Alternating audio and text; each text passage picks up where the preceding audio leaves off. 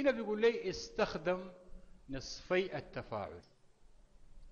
لا في مسألة 72 بيقول لي استخدم طريقة نصف التفاعل في وزن هذه المعادلات مضيفا الماء والأيونات الهيدروجين في الوسط الحمضي أو أيونات الهيدروكسيد في الوسط القاعدي عند الحاجة. حاخذ نصفي التفاعل أولا. أبدأ كتابة نصفي التفاعل اللي هي أخذ السي ال أخذ السي ال عليها سالب من ناحية وآخذ السي ال أو اللي عليها سالب من الناحية الثانية. هنا عدد الأكسدة سالب واحد هنا عدد الأكسدة موجب واحد معناها فقد إلكترونين. هذا بالنسبة لمين؟ هذا بالنسبة للسي إل. هاخذ ال NO3 NO3 كم عدد أكسدة ال N هنا يا أخوان؟ مين يقول لي؟ طيب كم عدد كم الشحنة على الثلاث ذرات أكسجين؟ سالب ستة. زائد إكس بيساوي سالب واحد. يبقى هذه لابد تساوي موجب خمسة. طيب عند الطرف الثاني صارت NO كم عدد أكسدة ال N هنا؟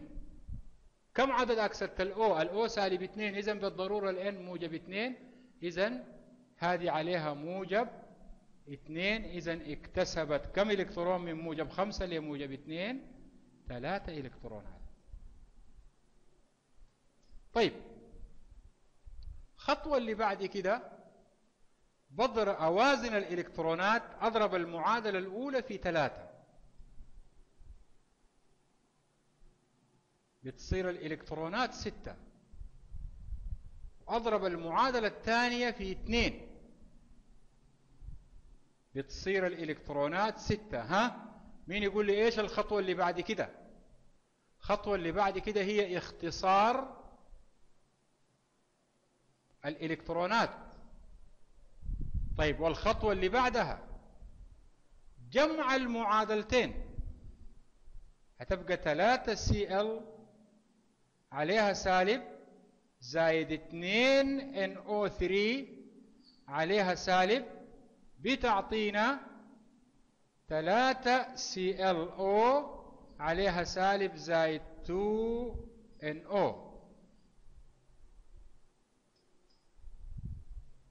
طيب.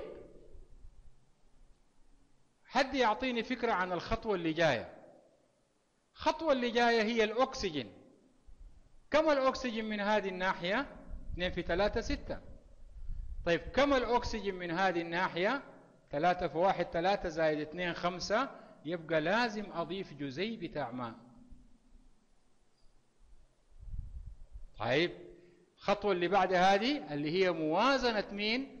موازنة الهيدروجين اللي هي حاضيف هنا 2 اتش موجب. أكتب المعادلة وأفكر في تحويله للوسط القاعدي. أكتب المعادلة وأمشي في اتجاه تحويله إلى الوسط إيش؟ القاعدي.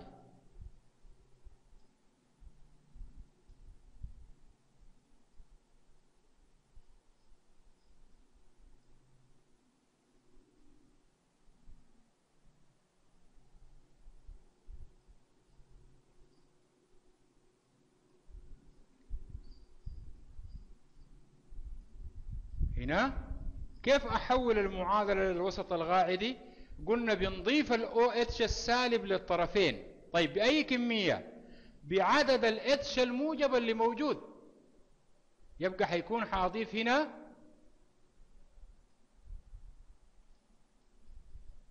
حاضيف من هذه الناحية 2 OH سالب. وأضيف من هذه الناحية 2 OH إيش؟ سالب طيب هذول حيختصرهم في جزيئين بتاع ماء